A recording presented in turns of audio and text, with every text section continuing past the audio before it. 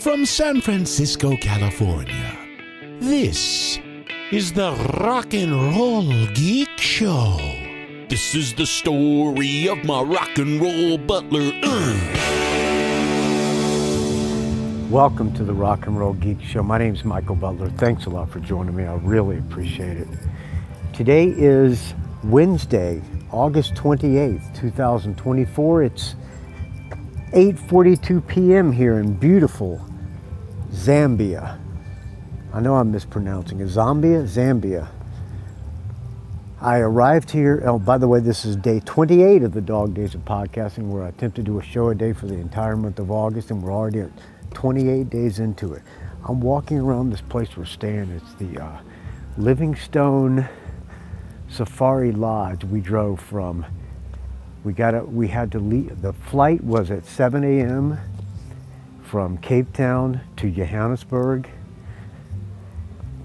I know I'm mispronouncing Johannesburg too. Then from Johannesburg to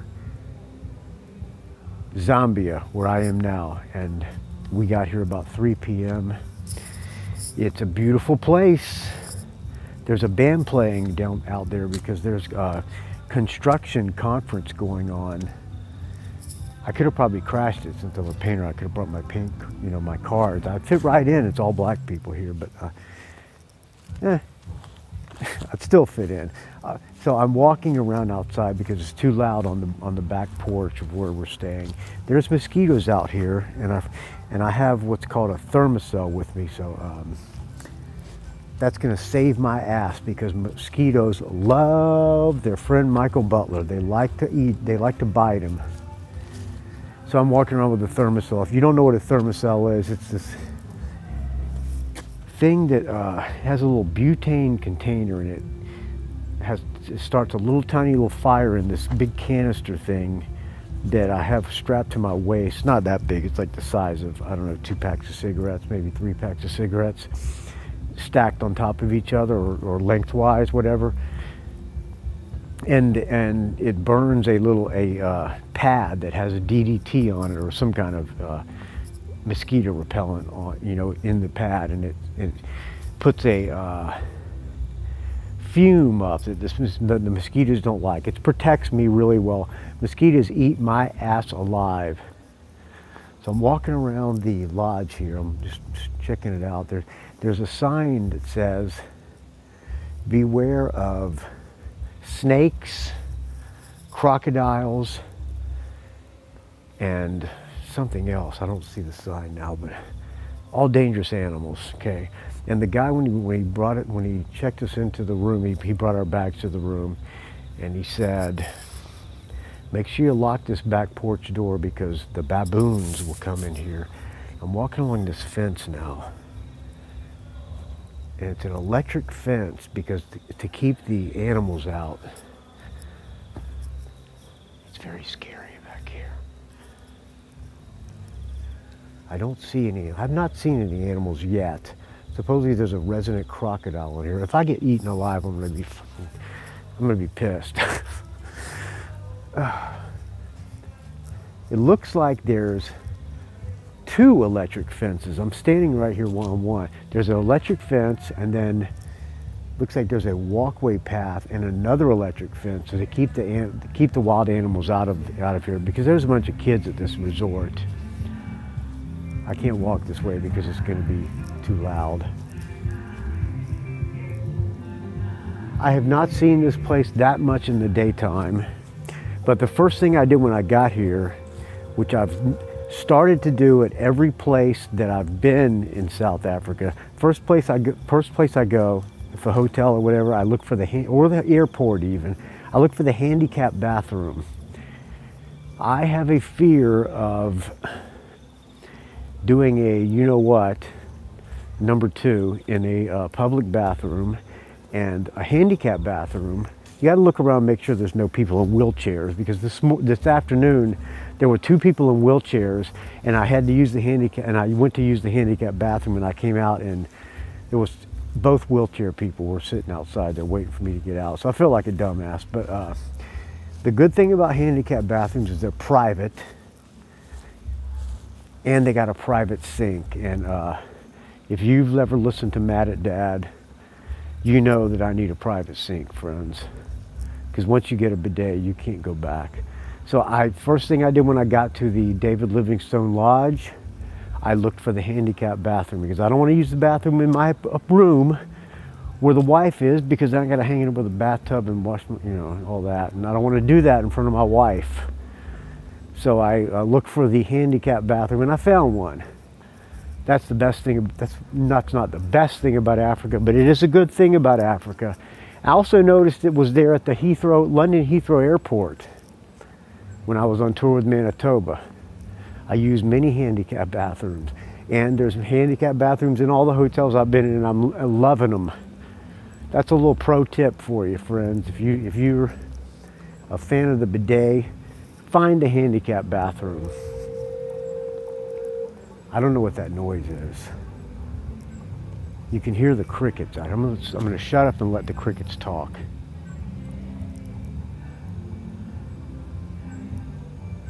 I don't know if you can hear them, but we're at this place here for the next 10 days. What am I going to do in, at a safari lodge for 10 days? Well, I know what I'm going to do tomorrow. I'm going to lay by the pool, drink some beers. Beers are like, we had dinner tonight and well, each of our meals, and I had three Coronas. My wife had probably four vodka and cranberries, and the total bill came to 55 $53. So beers here at the hotel are like $2. I'm drinking Corona right now because I tried drinking, oh, I gotta get away from here, it's too loud. I, the, the national, well, the national beer of Zambia is Mo, Mas, Mosi, Masi. I'll put a picture up on the Instagram. It's M-A, M something S-I. It's good. I got some at the airport. It was like a dollar fifty for one beer. Uh, then I had a, a, Castle Lite here at the hotel. Gave me a headache. Three sips, I got a headache. So I'm thinking it's like the South African version of Budweiser or Pabst Blue Ribbon. So now I'm, I'm drinking Corona, the old standby. I can, I can drink these all night and not even feel wasted. So that's what I'm drinking right now. I'm walking in the parking lot now. Workers' Compensation Fund Control Board. Yeah, there's a construction conference going on. So there's a bunch of contractors here. And they got a buffet and they got a band playing. The Walking Band or something like that. They're pretty good. The bass player is a shredder. So this is day one of the David Livingstone Lodge. I'm sure the wife has safaris planned and excursions and all kinds of shit that's gonna make me go broke. I'm already broke. Thank God for Brian. All right, enough of my crying, friends. Do you really want to hear me crying in South Africa? Listen to this guy. He's complaining he's in Africa with his family. What a asshole. Please send your emails, rockandrollgeek at gmail.com. But yes, pro tip, find the handicap bathroom wherever you are, friends. All right, the song I'm going to play for you tonight, this came down on the Blabbermouth today. Uh, this is Bryan Adams, who he he came out with a song, uh, he released a song uh, a couple weeks ago rock and roll is hell or something like that, rock and roll hell. He and Jim Vallance wrote two songs for Kiss during Creatures of the Night when they were both starving songwriters. And um, one of them was Rock and Roll is Hell or whatever that song is called. I'm not an authority on Kiss Creatures of the Night. I bailed on uh, after, I made it up to about Love Gun and then I was off the Kiss train. Apologies to all you Kiss podcasters, and you know there's many of them. The other song that he and Jim Vallance wrote was uh, War Machine. Supposedly, Gene Simmons came up with the main, the boom, down, down, down, down, and the rest of the song was um, Jim Vallance and Bryan Adams. And here is Bryan Adams doing that song. All right, friends, I'm about to fall out. I'm about uh, seven or eight beers in. I will talk to you tomorrow. I hope you're enjoying these travel logs. They can't all be winners, but they will all be like this one probably. Got an audio coming I'll play in the next few days, and we'll see. We'll maybe I'll do a walking tour in the daytime, and we'll, we'll describe what's going on in this, everything that's happened at this safari. We'll see if we see any wild animals. Saw a lizard today. That's all we've seen. We did see some baboons. Hopefully the baboon, the baboons won't come into the hotel room. They said make sure you lock the hotel room because make sure you lock the, the doors to the balcony because the baboons will come into your room and it will not be pretty. I don't want a baboon coming into my room. They also put a mosquito net down because apparently the mosquitoes come into your room too and they're the size of the baboons. All right, friends, I'll talk to you tomorrow. Here's Bryan Adams, War Machine.